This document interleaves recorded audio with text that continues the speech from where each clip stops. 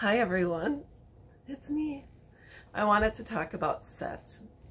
And this kind of set we're referring to is it's a lot of people say set in stone, but I'm gonna I'm gonna do a referral a little bit more wide, wide uh, more at a wider point of view, etc. But if you look at different substances which set, you and I'm just to use two. So one is jello and one is concrete. Jello, when you pour it, you know, you, you put the jello, the jello packet in a bowl, you boil the water, you pour the water in, it dissolves, you put it in the refrigerator and it's set. It's It says it's ready when it's set. Usually, I don't know how long it takes. Some set sooner than others, but for the most part, jello is set. But when you take it out, you can shake it around and it kind of moves or flows or looks, you know, whatever. And then you scoop it up and you jiggle it on your plate and then you put it in the hatch and then it melts and then it goes down the hatch and and that's it. But what happens when you pour concrete and it's set? It's solid. Normally it's set for it's however long until maybe true roots gonna get underneath it and break it up and you have to reset it or cut it out, whatever. But for the most part, um, concrete is solid and it's set and it's it's good to go. I just want to talk about in my life regarding relationships. I have been both set like jello and set like concrete. The set like concrete people in my life are people that are solid, trustworthy, um, are unbreakable. They, I know they have my back. They are simply solid, good, and they're not going anywhere.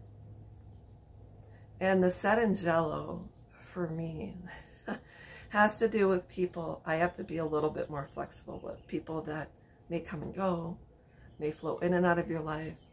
Um, it, it, it also, for me, refers to how set I am as a person when it comes to my feelings, my emotions, my thoughts, etc.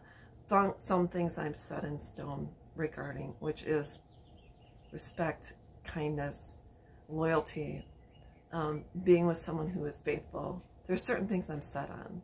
And I know I'm good for it. I know what I'm good for, what I'm asking for. So I'm pretty set in stone regarding some of my, most of my beliefs, thoughts, and feelings and worldviews. But when it comes to Jello, and it talk about something that's set and it's flexible, certain things I'm flexible about are when I meet someone and I give them a chance and we get to know each other. Well, I'm flexible with them because I believe everyone you cross paths with, with brings something else to the table that I am supposed to learn. Whether I'm supposed to learn a new fact, I learn to be a little bit more patient, maybe a little bit more kind, maybe a little bit more understanding. Um, I was walking around the park the other day, and my life for the most part is quiet.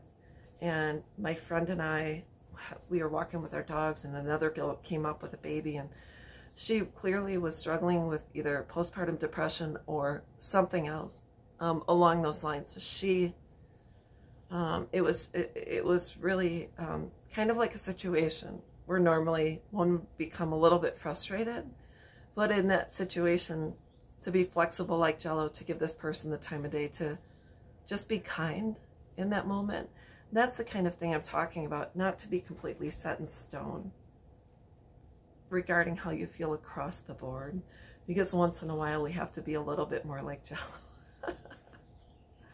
and that's just the way it is. I shouldn't say we, it should, I should just say I. So that's what I wanted to talk about. Are you more like Jello or are you more like concrete? For me, I have a combination of both. And I think people who are set in concrete and they're unwavering and they're difficult and whatever they say is truth. I can't imagine how challenging my life would be if I was not willing to learn from other people and, and take out new information or have a new thought or idea be brought to the table for me. I don't know. It's just the way it is for me. So that's what I wanted to talk about. I hope my words inspire you. I I, I just had a thought about being set today, and I thought the jello versus concrete theory was pretty good. So anyways, think about it. I'll be back, and we'll talk soon. Bye-bye.